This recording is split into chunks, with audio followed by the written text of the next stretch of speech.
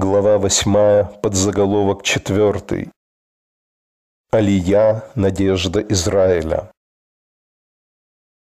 Более всего, экономическая ситуация в Израиле влияет на масштабы еврейской репатриации из стран диаспоры. Именно репатриация является важнейшим фактором благоприятных демографических перемен в нашей стране. Алия всегда была ключом к успеху сионистского начинания. В течение многих десятилетий ее влияние было сильнее, чем совокупное воздействие всех остальных демографических факторов, определяющих соотношение между численностью еврейского и арабского населения в Эрец-Исраэль.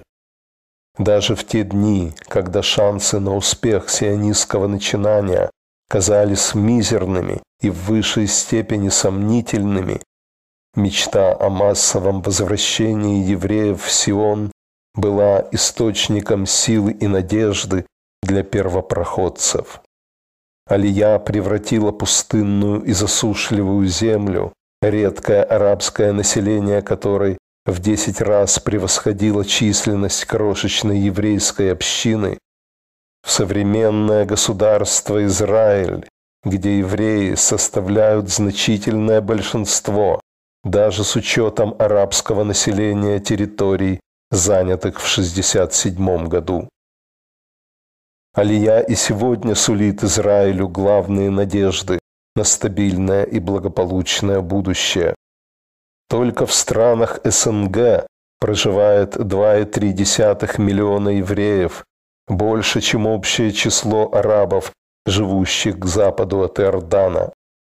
Статистические оценки еврейского населения в Советском Союзе были существенно занижены, поскольку в течение многих лет советские евреи без особого восторга декларировали свое еврейство. Не исключено, что действительная численность еврейского населения в странах СНГ выше указанных цифр. Сегодня уже вызывает сомнение, что почти все евреи России, Украины и других бывших советских республик репатриируются в Израиль, если политико-экономическая ситуация в странах их проживания не изменится к лучшему, и если Израиль сумеет обеспечить прибывающим репатриантам нормальные условия занятости.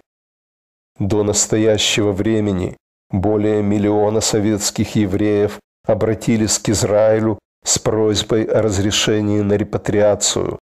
Их примеру могут последовать многие другие.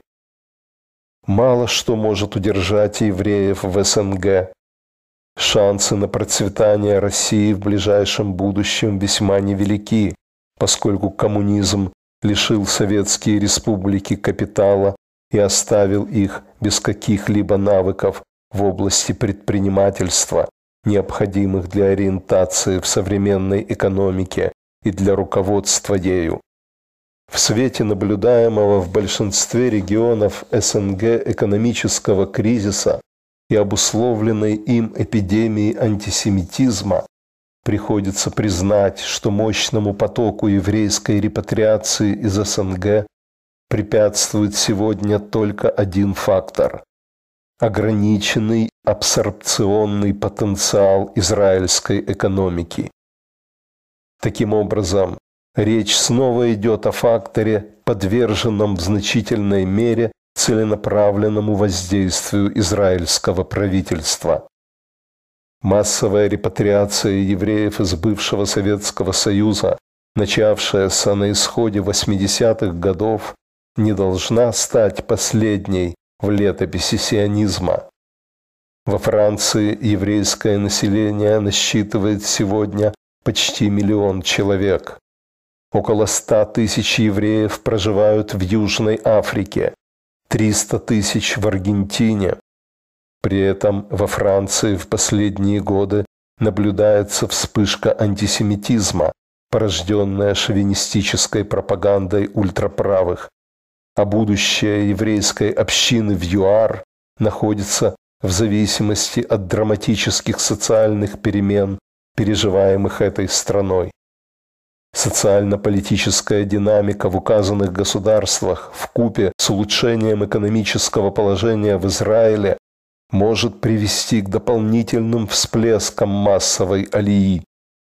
То же самое относится к десяткам иных стран диаспоры и среди прочих к Соединенным Штатам и Канаде, где имеется колоссальный еврейский демографический потенциал, использовать который Израилю пока не удалось.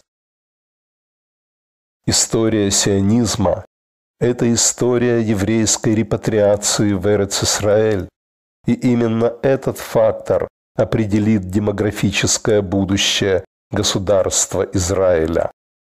Если бы израильское руководство равнодушно приняло рекомендации пессимистов, заявлявших совсем недавно, что время массовой алии безвозвратно ушло, и разглагольствующих сегодня о наступившей постсионистской эре, еврейское государство оказалось бы на пути к историческому краху.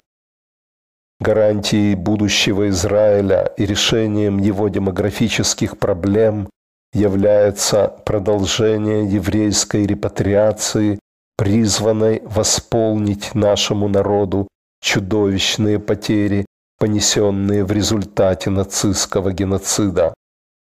Те еврейские массы, на которые рассчитывали отцы-основатели сионизма, были уничтожены нацистами в Европе и лишь долгие годы постепенного собирания рассеянных смогут хотя бы частично компенсировать нам эту немыслимую потерю.